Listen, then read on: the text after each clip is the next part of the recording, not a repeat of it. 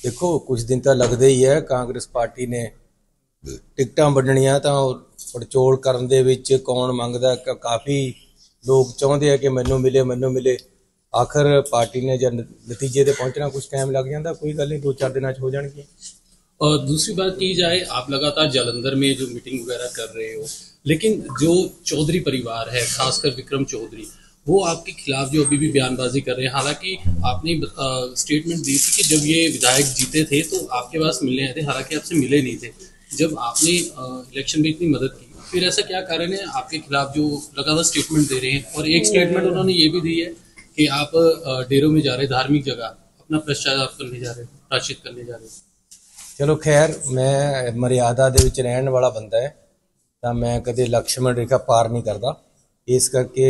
ਜੋ ਮੇਰੀ ਪਾਰਟੀ ਦਾ ਬੰਦਾ ਕੋਈ ਕੁਝ ਬੋਲਦਾ ਮੈਂ ਉਹਦਾ ਜਵਾਬ ਦੇਣਾ ਨਹੀਂ ਹੈ ਜਦੋਂ ਤੱਕ ਬੰਦਾ ਪਾਰਟੀ ਦੇ ਵਿੱਚ लेकिन उनकी तरफ से आपकी विरोध जो है लगातार देखने को मिल रहा है तो कारण क्या रहेगी इसका ਮੇਰਾ ਵਿਰੋਧ ਕਰਨਾ ਜੇ ਕੋਈ ਕਰਦਾ ਹੈ ਤਾਂ ਉਹ ਉਹਦਾ ਕਿਰਦਾਰ ਹੈ ਮੈਂ ਨਹੀਂ ਵਿਰੋਧ ਨੂੰ ਮੰਨਦਾ ਤਾਂ ਇਹ ਮੇਰਾ ਕਿਰਦਾਰ ਹੈ लेकिन ये आपने उनकी इतनी मदद की उसके बाद वो आपका विरोध कर रहे हैं हालांकि अभी टिकट अनाउंस नहीं हुई है क्योंकि चर्चा तो यही है कि आप ਜਦ ਪਾਣੀ ਆਏਗਾ ਫਿਰ ਮੋਜੇ ਖੋਲਾਂਗੇ ਅਜੇ ਪਾਣੀ ਆਇਆ ਨਹੀਂ ਹੈ ਟਿਕਟ ਜਿਹਨੂੰ ਹੋਏਗੀ ਆਪਾਂ ਉਹਦੇ ਨਾਲ ਚੱਲਣਾ ਹੈ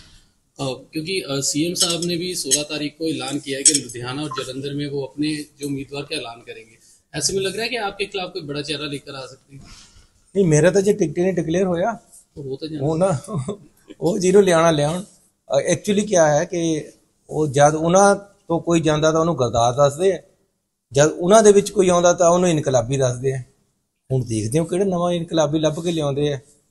ਜਿਹੜੇ ਨੇ ਬਾਅਦ ਚ ਗਰਦਾਰ ਬਣਨਾ ਹੋਵੇ अ, रिंकू भी लगातार ये बयानबाजी कर रहे हैं कि आप अपनी ईमानदारी का स्टैंड बताइए क्योंकि आपके जो रिश्तेदार थे वो तो ईडी की गिरफ्त में रहे जेल काट कर आए और आप पे भी शिकंजा कसा हुआ है ਦੇਖੋ ਰਿੰਕੂ ਦਾ ਤਾਂ ਇਹ ਹਾਲਤ ਹੈ ਮੈਂ ਇਹਨਾਂ ਨੂੰ ਹੁਣੇ ਸੁਣਾ ਰਿਹਾ ਸੀ ਕਿ ਪਹਿਲਾਂ ਬੇਬੇ ਨੇ ਜੱਟ ਕਰ ਲਿਆ ਫਿਰ ਕਰ ਲਿਆ ਦਰਜੀ ਅੱਜ ਕੱਲ ਬੇਬੇ ਮੀਮਜਾਦੇ ਨਾਲ ਕੱਲ ਨੂੰ ਪਤਾ ਨਹੀਂ ਕੀ ਕਰਦੀ ਰਿੰਕੂ ਦਾ ਕਿਆ ਪਤਾ ਤਿੰਨ ਜਗ੍ਹਾ ਟੱਪ ਕੇ ਆਇਆ ਵਾ ਕੱਲ ਨੂੰ ਉਹਨੇ ਕਿਆ ਕਰਨਾ?